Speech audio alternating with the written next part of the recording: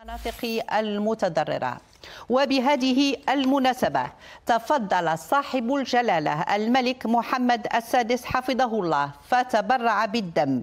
وهي التفاتة كريمة تجسد العناية الملكية السامية وتعبر عن تضامن جلالته حفظه الله الكامل وعطفه على الضحايا والعائلات المكلومة.